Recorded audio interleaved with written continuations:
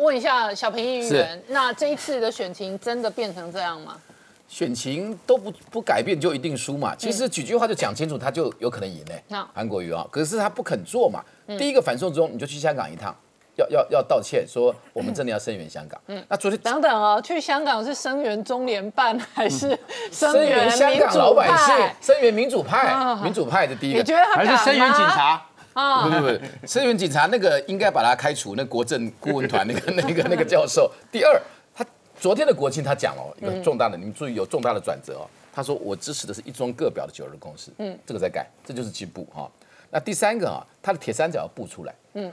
那前阵子我一直讲那个江启臣呢，我想希望他找江启臣，因为族群融合是重要的，嗯，找个台湾人的副手，然后他一定要拍朱立伦的马屁哈，嗯，朱立伦经济蓝知识蓝最多嘛，嗯，那以前前一阵子一度他是他的副手的时候，这个民调拉到从十几拉到剩三嘛，嗯，对。然后现在啊，我觉得副手要找江启臣，嗯，朱立伦就一定要公开影子那个，他就是行政院长，嗯，把国家交给他，这就是对朱的最重要的态度。这这个铁三角成型的话，民调就会上扬。然后呢，也要对郭的召唤，嗯，你加了韩国瑜、江启臣、朱立伦三个还不够赢，会差一口气。那超越那一口气就是郭台铭，嗯，你怎么样？你用什么方法让郭台铭愿意能够？能够跟柯有一些分离，因为柯支持你是不可能，柯是根本不可能支持韩国瑜，绝无可能。然后郭中华民国派有可能，看怎么召唤。那怎么召唤？你要让他心里舒坦。我先谈怎么舒坦，就立委的布局哦。那郭也不要冲动，不要每个区都推。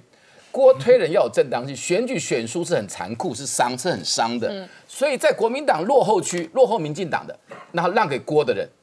在国民党赢的地方，郭不要推人，嗯，那这样会让民进党少十几席，嗯，民进党就不可能单独过半，因为郭都退党了，郭都跟国民党老死不相往来了，被你讲成好像大家可以一起。我希望在韩国瑜正义里面不要再提郭台铭三个字。对，我知道，我当然知道，只谈只谈立委只是好的起步，不是就可以就过来了。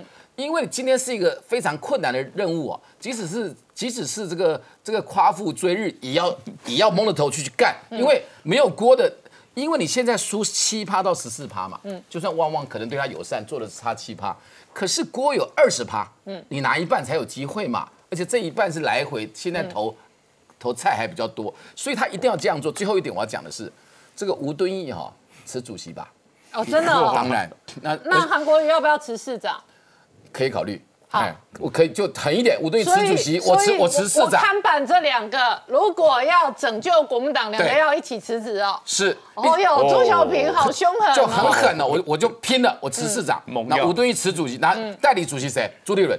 哦，这个选举只有就有就有有的看的。今天难怪你被开除党 是，我 讲讲得好，讲得好，你朋友讲对不对？没有，你讲的天方夜谭。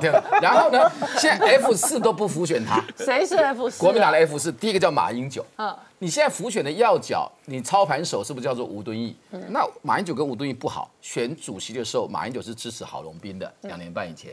第二个叫做朱立伦，你找他，你今天你找。吴敦义去辅选找朱立伦来，怎么可能嘛？两个仇那么深，对不对？初选就他就他搞掉了吴敦义，嗯，那所以找吴敦义是找鬼拿药单嘛？第三叫侯友谊，你把吴敦义形容成鬼，然后又叫他辞职，你现在变吴敦义的海豚黑了。我是无党籍没关系。第四叫卢秀燕，初选的时候吴敦义是支持江启臣的，可能市长初选，所以吴找吴敦义 F 四很重要嘛。嗯，你今天吴敦义换掉 F 四由。朱立伦自己来操盘，他的代理主席的话，这个又愿意又而且又请敦请他，一定任命他当行政院长，把国家大政交给他。我国政差嘛，朱立伦强嘛，这个选举就有的选了。啊，照你这样讲，几乎不可能啊。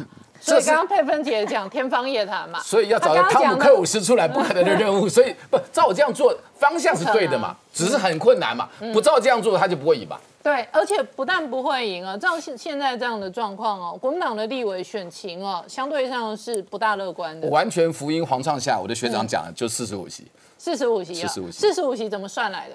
四十五席很简单嘛，就是你今天。不分区拿个十二十三席吧，嗯，那你是不是还要差不多三十多席的区域？对，一半那总共七十三席啊，嗯，那你让你什么原住民多拿几个嘛，基本马祖强一点，你你思考一下，你要拿二接近三十席，二十七八席的区域，对，那很难度很高，你想想看，哪里有的拿？台北市。三个重点嘛哈，你你你要破五十嘛，第一个你台北市拿六席嘛，显然没有嘛，第二个你新北市你要拿八九席，显然不可能哦，嘛，新北市现在不容易，不容易。对我说你的目标是五十席的话，就是三个票差。嗯，你台北市的八席，你要桃园，对八席要拿六席，台北市。对。新北十二席你要拿八到九嘛，桃园六你要拿四嘛，难度太高了啦，所以四十几合理啦。你黄章觉得下估黄章下估的合理啦，对啊，就是说四十几合理，因为它区域可能没有那么乐观。是。那比较乐观的是金门、马祖跟原住民。对，国民党从中国大陆的江山 退到台湾，那现在从这个岛内核心退到金门、因为、国民党非常尊重。少数民族，所以原住民会投国民党。所以，哎、可是哦，这个跟这个二零一九年的地方县市首长很反差、哎是地方县市首长，国民党拿到十五个地盘、哎，嗯，可是照你这样算，区域要退守金门、马祖、原住民、哎。我没有歧视这几个地盘越来方，越来越小了但是越来越离岛哎、是是这样子啊，越来越边陲啦。嗯，对啊，是这样。所以那何以不到一年，那那一个变化如此之大？有几个原因哦，就三句话就讲清楚。第一句话就是当时你惹恼了这个柯文哲，然后白粉哈，好啊这个柯粉啊，就我们叫白粉，就谁因为你谁惹恼柯文？蔡英文啊，你非要推个姚文智，才逼得姚文智辞职。蔡姚文智辞职是蔡英文逼的，就他一定要把蔡柯文哲弄死在台北市嘛。那如果像高嘉瑜这样对他比较友善，那柯粉心里就舒坦一点。那柯粉就怎么样？就很生气，就投国民党报复民进党啊。因为你知道那一中间的差了几趴是很重要的嘛，柯粉全台湾至少二十五趴吧，你惹恼了柯文哲，你可以把他干掉，柯粉翻脸就投了。第二就是你反送中你的态度嘛，嗯，啊，第三你的国政，国政你的你的这个知识的浅薄嘛，那第四个你的生活纪律嘛，这几个是第五就是吴敦义的操盘手的浮选是是是失败的嘛，所以这组五个原因就造成一年多就就反一年就反转就崩盘，只是如此而已，就崩得非常快。是，好，我们稍后再回来。